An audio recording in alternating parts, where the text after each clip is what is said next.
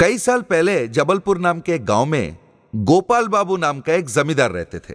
उनके घर पर लल्लू नाम के एक कर्मचारी कई सालों से उनका सेवा कर रहा था। हर रोज सुबह लल्लू जमींदार को चाय पहुँचाया करता था और उनके नहाने से पहले उनका हाथ पैर भी मालिश किया करता था। एक दिन लल्लू किसी काम से शहर आ पहुँचा। सर सर सर लॉटरी ले लीजिए ना सर। अपना किस्मत आजमा लीजिए ना सर। सर दस लाख का लॉटरी है। उसने कहा अरे मेरी ऐसी किस्मत कहा? छोड़ दो। ये सुनकर ऐसा कैसा सर? आप कैसे कह सकते हो? कि सौ रुपए खर्चा करके आप टिकट लोगे फिर भी दस लाख का लॉटरी आपको लगेगा ही नहीं। लग गया तो लखपति बन जाओगे। वरना सौ रुपए जाएगा। एक लेके देखो ना सर। किस्मत आजमा ही लो। चलो जाने दो। आपके लिए मैं पचास में ही दे देता हूँ। अब तो ले लो ना सर।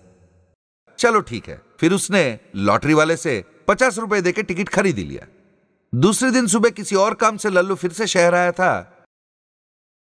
सर सर सर, मैं आप ही को ढूंढ रहा था, सर।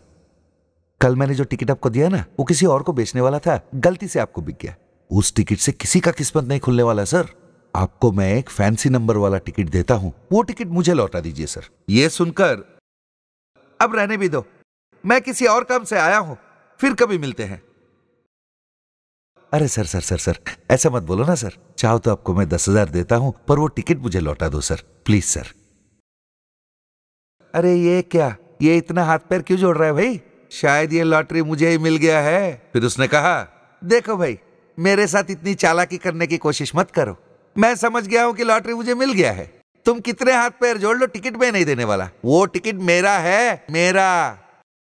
अच्छा जाने दो ना साहब, मैं आपको पचास हज़ार दे देता हूँ। लॉटरी के पैसे हम आधा आधा बांट लेंगे। वो टिकट दे दीजिए ना, सर। Please, sir. भाई, तू पाँच लाख भी देगा ना, तब भी मैं टिकट नहीं दूँगा। कहकर वो वहाँ से चला गया। फिर शाम को, जब जमींदार सब घर लौटे, उन्होंने देखा, उनके कुर्सी पर लल्लू अपने पैर पे पैर रखा शान से बैठा हुआ है। क्यों रे लल्लू? दिमाग घूम गया है क्या तेरा? मेरे ही कुर्सी पे जा बैठा तू? हेलो इज़्ज़त इज़्ज़त दे के बात कीजिए। अब मैं भी लखपति हूँ। दस लाख का लॉटरी लगा है मुझे।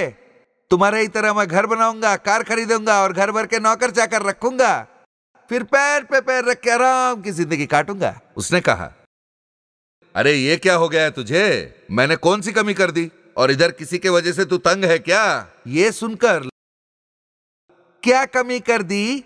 मेरा तनख्वाह पाँच हज़ार है। उसमें से हज़ार कट के हाथ में तो चार हज़ार ही देते हो ना? है कि नहीं? बोलो बोलो।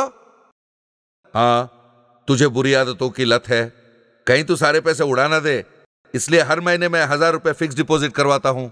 कल यही पैसे तेरे बच्चों के काम आएँगे। मैंने पहले भी तुझसे कहा था जब तेरी मर्ज़ी हो वो पैसे उठा लेना। मना किसने किया है?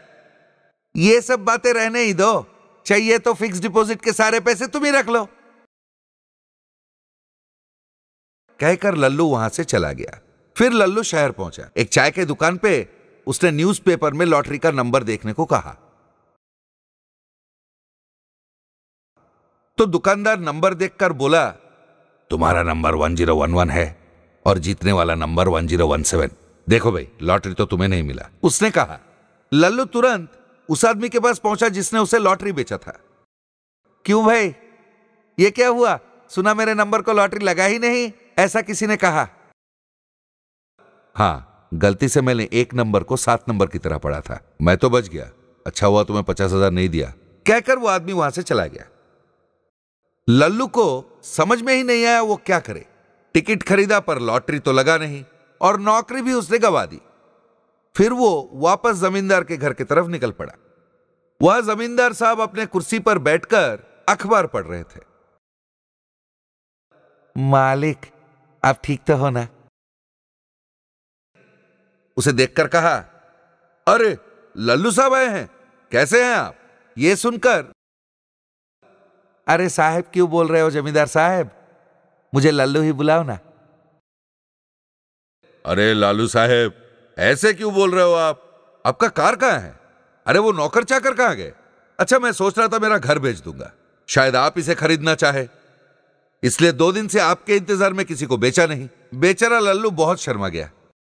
मालिक मरा हुआ सांप पे और कितने डंडे मारोगे? लॉटरी तो मुझे मिला ही नहीं। वो लॉटरी वाला उसने तो गलत नंबर पड़ा था और मुझे भ्रमित कर दिया कि लॉटरी मुझे ही मिला है। अरे मुझे तो पैर हिलाने को मना कर रखा था। अरे कुर्सी पर बैठने को मना कर रखा था।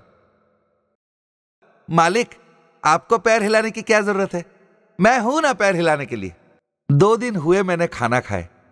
बाबा भूख लग रहा है, पूछने पर भी किसी ने खाना नहीं दिया।